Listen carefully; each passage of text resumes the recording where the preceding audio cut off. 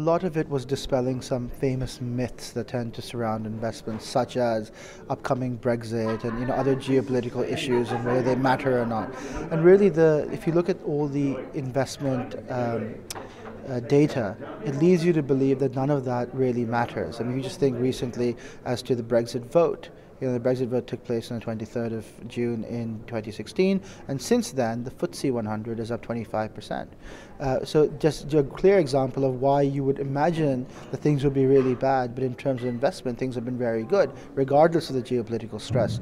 Some of the things I covered today actually was a similar, were similar examples to that, showing going throughout history and showing that all the geopolitical stress in the world doesn't really tend to matter to markets in the short term at all. So you've said that geopolitics doesn't matter sometimes as much as we might think it would.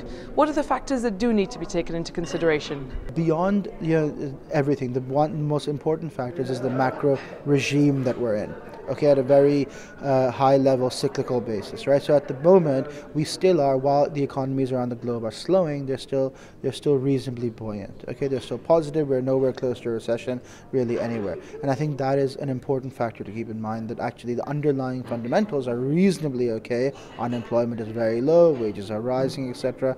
And that is quite devoid from the geopolitical noise that you see. So, so the macro regime is okay. Uh, perhaps most important is also is valuation and that is simply the price you're paying for risk in terms of you know price to earnings ratios, things of that nature. And even there, we're reasonably neutrally positioned. Uh, the markets are not very expensive; they're not very cheap. But the thing is that, that that picture looks okay as well. Long story short, macro is reasonable, valuations are reasonable, momentum is positive. Is this a time to, to cut risk? No, this is a time to stay risk on.